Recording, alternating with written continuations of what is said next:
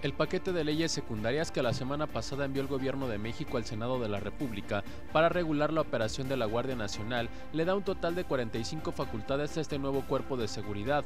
Una de estas legislaciones es la Ley de Uso de la Fuerza, que permite a los elementos de la Guardia responder con fuerza letal cuando un sujeto o grupo de personas los agreden con medios que también impliquen una amenaza letal. La legislación en mención hace una excepción y señala que la fuerza letal no podrá ser usada en un bloqueo de calles o sobre una manifestación social pacífica.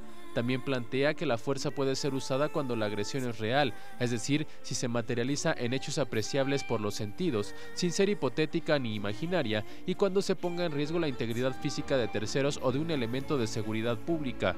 El experto en seguridad Francisco Salazar Sony dijo que difícilmente esta fuerza letal podrá ser una amenaza para los ciudadanos. A nivel internacional, la ONU ha tenido resoluciones sobre el uso de la fuerza y el Comité Internacional de la Cruz Roja se ha manifestado al respecto. Les dan ciertas garantías del uso de la fuerza a los encargados de cumplir y hacer cumplir las, las normas, que en este sentido sería la Guardia Nacional, cuando ven amenazada la integridad. Y para esto se han hecho algunos señalamientos muy puntuales que tendrán que ser bajados a través de la reglamentación de la Guardia Nacional la iniciativa, que ya está en manos del Senado, establece que los cuerpos de seguridad podrán contar con armas no letales como un bastón PR-24 o equivalente, dispositivos que generen descargas eléctricas, esposas o candados de mando, sustancias irritantes en aerosol y mangueras de agua a presión. Las armas letales que podrán tener a su cargo son armas de fuego y explosivos permitidos en términos de la Ley Federal de Armas de Fuego y Explosivos.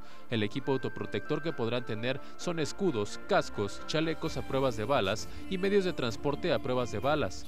El comandante de este cuerpo de seguridad será el general Luis Rodríguez Bucio, pese a que en el Congreso de la Unión se había aprobado bajo la condición de que la Guardia Nacional tuviera un mando civil. Salazar Sony dijo que se veía difícil que un civil comandara la Guardia Nacional, misma que está completamente integrada por militares. El proceso de militarización está en marcha desde hace ya mucho tiempo en México, en donde han ocupado puestos importantes en las secretarías de seguridad pública de los estados, en la Secretaría de Seguridad Pública Municipal. Entonces, el proceso de militarización ya tiene fácil 20 años en México, con las comisiones de personal militar y naval que hacen funciones de policía civil. Las leyes secundarias que revisa el Senado también estipulan facultades de la Guardia Nacional como efectuar investigaciones a nivel ministerial, realizar inteligencia, hacer operaciones encubiertas, intervenir servicios de telecomunicaciones, cuidar penales, detener migrantes, vigilar caminos, carreteras, puentes, aduanas, garitas, aeropuertos y la red pública de Internet. Para Global Media,